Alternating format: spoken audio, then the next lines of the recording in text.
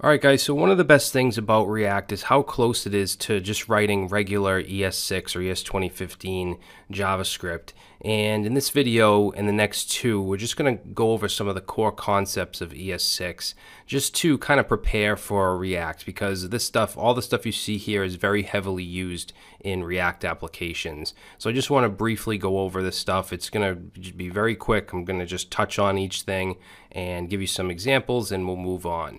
All right, so if you don't want to watch the next three videos, which are which are all the ES6 refresher videos, you can go ahead and skip them and, and jump right into React. But I would suggest watching them, uh, especially if you're not, you know, if you don't master all the stuff you see right here. So what I have is an index HTML file with just an H1 in the body and then a script to the main.js file, which is what you just saw. So I'm going to start this up. You can either open the file, if you're following along, you can either open the file on your file system, or if you're using live server like I am, you can just go ahead and say open with live server. And it'll open up. We're going to open up our Chrome tools as well down here.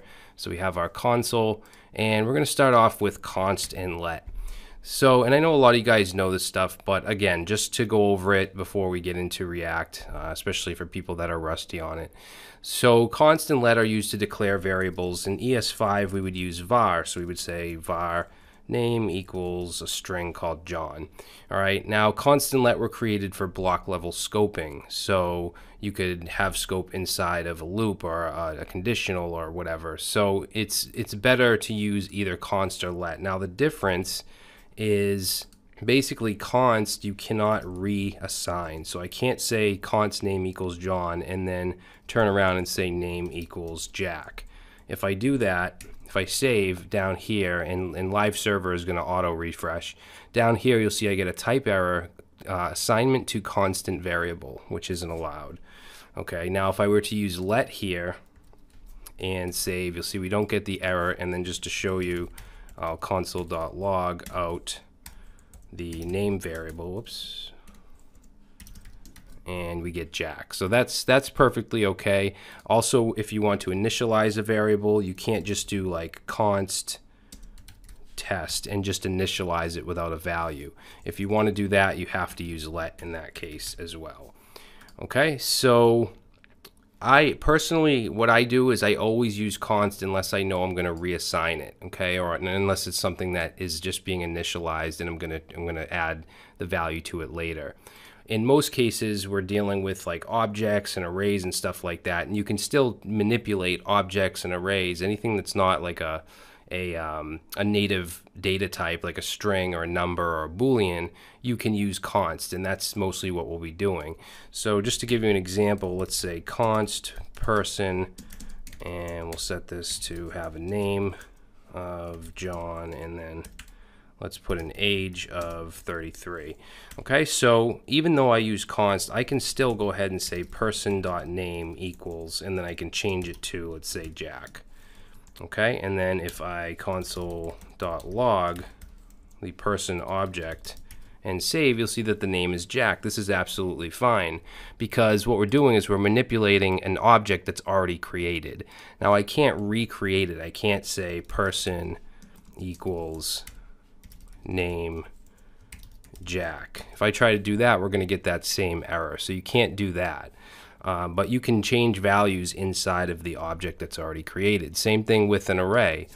If I were to say const nums and set it to an array of let's say 1, 2, 3, 4, and then I wanted to add a 5 on the end of it, I could certainly do nums dot push and just add on a 5. And if I console dot log nums oops, nums, and save, we get 1 through 5. Okay, so you can do that as well. So that's it for const and let. I don't want to spend too much more time on this. Uh, let's move on to arrow functions. So arrow functions are a big part of React. We're going to be using these everywhere. So a regular function, let's just do something very simple like say hello. And we'll just have it uh, log to the console hello. Okay, and then if we call it down here and run it, we see we get hello. Now, to create an arrow function here, what we could do is create a const, or you could use let, var, whatever you want, and call it say hello, and then say equals, and then we want our parentheses, which is where our parameters would go, and then an arrow. And then in here, we'll say console.log, and we'll say hello and save and we get the same thing. Now with arrow functions you don't if it's only one line inside the function like if we're not creating variables and stuff doing other stuff here and it's just one line we don't even need the curly braces we can get rid of these so we can just go like that and if I save it still works and it's much cleaner looking. And if we want to add parameters, we can put something in here like a name. Now, notice, watch when I save this. When I save, the parentheses go away. And the reason is because I'm using the prettier extension and the auto format. And with arrow functions, when you only have one parameter or one argument, you don't need the parentheses. So prettier automatically strips them off. Uh, if you were to have more than one, though, like name, let's say, I don't know, maybe like greet or something like that, then in that case, we would need the parentheses like that. Okay, but I'm just going to have just name. And then over here, we could do like hello space, and then we could concatenate the name variable and then pass in a name here and save and we get hello Brad. Now another nice feature of ES6 is our template literals. So instead of having to concatenate like this, what we can do is not instead of quotes we use backticks and just cut, just go around the, in the entire thing. Okay, you may have a lot of variables in here, and then any variable, all you have to do is wrap it in this syntax. So money sign and then curly braces, save, and we still we get hello Brad. Okay, so that's th those are template literals, and and we won't be using these that much because uh, in React we have where you, we use JSX, which is where we can actually output HTML, and we can use expressions inside JSX with just curly braces. So we can have variables and stuff with just curly braces. But this is just a, a, a helpful part of ES6 in general. All right, so let's see. Let's get rid of the say hello here. And let's move on to some of the high order array methods because we use these quite a bit as well.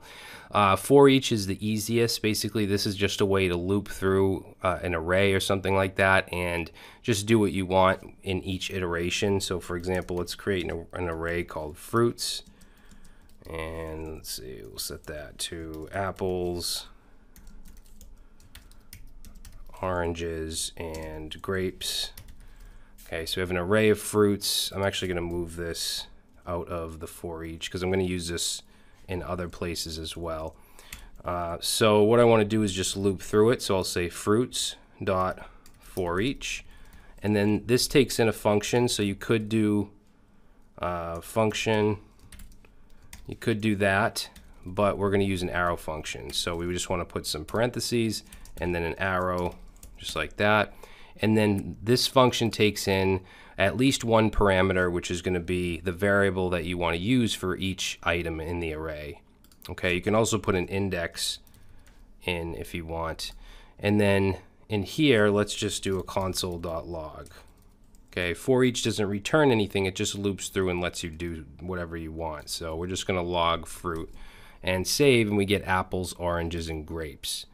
Okay, and since this is just one line in here, just like I showed you up top, we don't need the curly braces. We can just do that. All right, and then let's see, what else do we want to do here?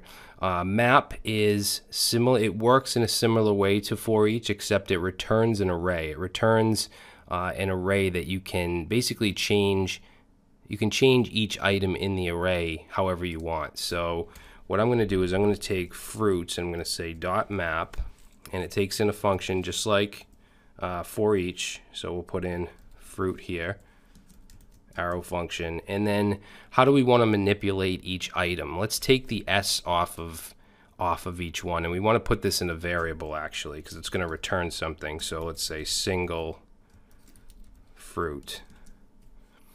And what I'm going to do is I'm just going to take the fruit, the current item in the array that we're that we're currently dealing with, and I'm going to use the slice method, which is just a JavaScript method. So slice, and then I'm going to put in 0 and negative 1, which is going to take off the last character. So it's going to take off the S from each one. So let's go down here and let's console.log uh, single fruit and save. And now you can see right here we get apple orange and grape. So it took the s off of each one. Let me just comment out um, for each. All right and you can manipulate it in any way that you want. If I wanted to make these all uppercase I could add on to this and say dot to uppercase like that. And now we have single fruits that are all uppercase. So that's map and we use map and React to loop through what are called lists. And you'll we'll learn more about that later so let's see, we'll go ahead and comment the output. And now we'll look at filter. So filter is similar to for each and map. It's a high order array method and it's used to return an array with things filtered out. And often this is used in state managers like Redux or even the context API where you want to delete fr something from the state. You want to filter it out. So the example I'm going to give you is an array called people and inside the array, we have an object, let's say ID1, and let's say name, and we'll say Karen. And then let's create a couple of these. So we'll do three of these. So this one, we'll say Bob, and let's change his ID to 2. This one will be 3, and let's change to, I don't know, Sharon. Karen and Sharon. So we have uh, an array of people. Now let's say I want to filter out Bob. Okay, basically want to remove Bob. I want to return an array that removes Bob. So let's go and let's say const, uh, we'll say const people 2. And the reason filter is used a lot is because in React, your state is immutable. You can't directly change it. So what we're doing here is we're just returning a new array. We're making a copy of it without Bob. So we'll say uh, people.filter and let's do, so it takes in, we'll say person as our variable here. And then we, then we want to put our condition. So we'll say where person dot ID is not equal to 2 because Bob's ID is 2. And then we'll go ahead and console.log. It's console log people 2. Okay, so we'll save that and then we take a look at our array and you can see we just have Karen and Sharon. Bob is no longer in the array because we filtered him out based on this condition right here. Okay, so we'll be using filter quite a bit. All right, so I'm going to stop the video here. In the next video, we're going to look at the spread operator. Excuse me. We're also going to look at destructuring. All right, so I will see you in the next one.